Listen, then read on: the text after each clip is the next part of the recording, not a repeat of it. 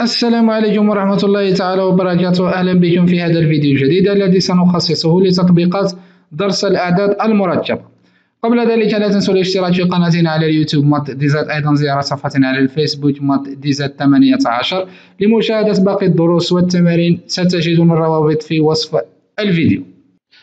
نأخذ التمرين التطبيقي رقم ثلاثة. التمرين يقول احسب طاولة الأعداد المركبة التالية. طويلة العدد واحد إي ناقص واحد ناقص إي ناقص ثلاثة اثنان إي واحد زائد إي ناقص ثلاثة زائد اثنان إي واحد زائد إي في ناقص ثلاثة زائد اثنان إي وأخيرا واحد زائد إي على ناقص ثلاثة زائد, زائد اثنان إي. ننتقل إلى الحل لدينا العدد المركب الأول هو واحد يعني يساوي الجزء الحقيقي يساوي واحد والجزء التخيلي يساوي صفر يعني يكتب واحد زائد صفر إي ويساوي الواحد.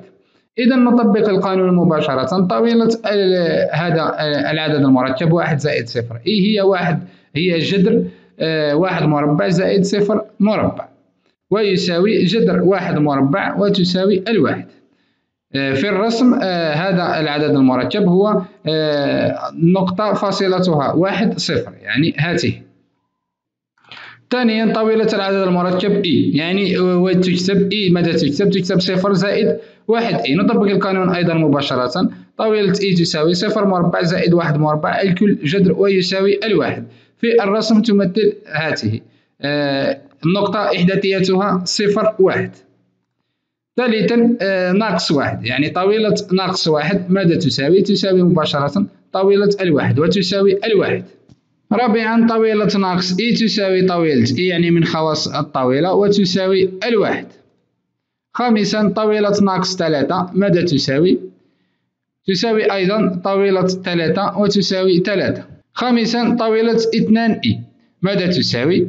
تساوي طاولة اثنان في طاولة إي وتساوي اثنان في واحد وتساوي اثنان أيضا طاولة واحد زائد إي ماذا تساوي؟ تساوي قلنا الجزء الحقيقي مربع زائد الجزء التخيلي مربع الكل جذر يعني جذر هنا واحد مربع زائد واحد مربع وتساوي جذر اثنان ننتقل للعدد الموالي. لدينا طاولة ثلاثة ناقص اثنان إي. هي تساوي طاولة ناقص ثلاثة زائد اثنان إي أيضا. والتي تساوي آه ناقص ثلاثة مربع زائد اثنان مربع الكل جذر وهي نفسها ثلاثة مربع زائد ناقص اثنان الكل مربع والتي تساوي في الأخير تساوي جذر ثلاثة عشر. الآن آه، طاولة ضرب عددين يعني العدد الأول واحد زائد إي والعدد الثاني ناقص ثلاثة زائد اثنان إي. يعني آه الذي هو نفسه طاولة آه هذا العدد ثلاثة ناقص اثنان إي. لذلك هنا حسبناها بطريقة ناقص ثلاثة زائد اثنان إي. لدينا طاولة آه، هذين ضرب هذين العددين يساوي طاولة الأول في طاولة الثاني. يعني طاولة الأول واحد زائد إي كنا قد حسبناها جذر اثنان وطاولة الثاني ناقص ثلاثة زائد اثنان إي والتي تساوي طاولة ثلاثة ناقص اثنان إي والتي كنا قد حسبناها أيضا وتساوي جذر ثلاثة عشر. يعني تساوي طاولة الأول في طاولة الثاني يعني تساوي جذر اثنان في جذر ثلاثة عشر وتساوي جذر ستة وعشرين. أيضا طويلة العدد الأول على العدد الثاني. يعني آه، طويلة واحد زائد إي على ناقص ثلاثة زائد اثنان إي تساوي طويلة واحد زائد إي على طويلة ناقص ثلاثة زائد اثنان إي. طويلة ناقص ثلاثة زائد اثنان إي هي نفسها طويلة ثلاثة ناقص اثنان إي. يعني جذر اثنان على جذر ثلاثة عشر وتساوي جذر اثنان على ثلاثة عشر. صورة هذه الأعداد المختلفة هي موجودة في هذا الرسم. لدينا صورة الواحد هي هذه. آه، صورة الثانية إي هي هذه النقطة. آه، أيضا آه، ناقص واحد هي هذه النقطة. لماذا نقول طاولة ناقص واحد تساوي طاولة الواحد؟ لأن طاولة ناقص واحد هي من هنا إلى هنا تساوي نفس نفس الطاولة هذه. واحد تساوي الواحد من هنا أو الواحد من هنا. لدينا ناقص إي أيضا هي هذه ناقص ثلاثة هذه النقطة. اثنان إي يعني إحداثيات صفر اثنان. والتي هي هنا صفر اثنان.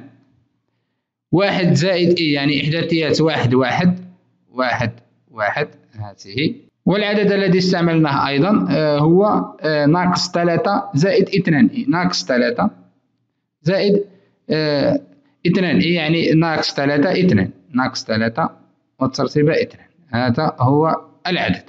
نجول قد أنهينا مناقشة هذا التطبيق البسيط في طاولة أعداد مركبة. ألقاكم في تطبيقات أخرى إن شاء الله. والسلام عليكم ورحمة الله تعالى وبركاته.